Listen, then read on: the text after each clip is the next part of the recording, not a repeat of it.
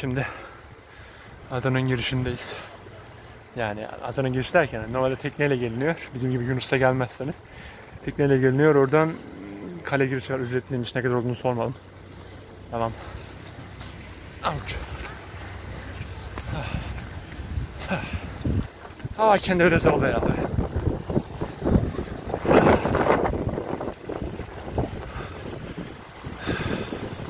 Ben daha önce buraya geçen senenin yazında gelmiştim. Tur atmaya. Kaybollar. Whatever. Gelmiştim ama telefonumu düşürürüm diye hani adanın nasıl koşullarda olduğunu bilmiyordum. O yüzden video çekememiştim. Şimdi bir daha senin için çekiyorum. Yeah. This is Ovesome. Buraya gelmişsindir diye düşünüyorum. Ben yüksek ihtimalle Ha siktir ben ne yapıyordum? Ha, şurada. Alright bro, is so fucking dangerous. uh, oh yeah. Oh yeah.